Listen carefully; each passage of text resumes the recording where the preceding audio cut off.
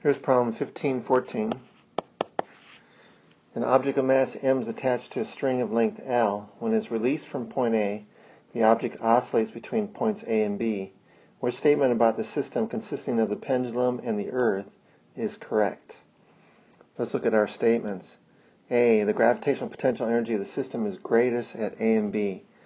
Well, yes it is, because uh, O is our lowest point a and B is our greatest height above that point, and hence we have our greatest gravitational potential energy at those points. So A is definitely true. Let's look at B. The kinetic energy of the mass m is greatest at point O.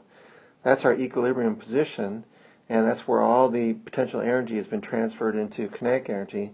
So we have our greatest speed at that point, and hence our greatest kinetic energy. So that is definitely a true statement as well.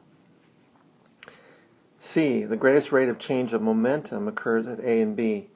Well, as we swing along this path, the restoring force is greatest at the points A and B where we're furthest away. The force is, is greatest along that arc back towards equilibrium. And force is the rate of change of momentum. So since the force is greatest, uh, so is the rate of change of momentum at that point. So that is actually a true statement as well. D, all the above are correct. That's true. A, B, and C are correct. E, only A and B are correct. That's not true. So the best answer is D, all of the above are correct.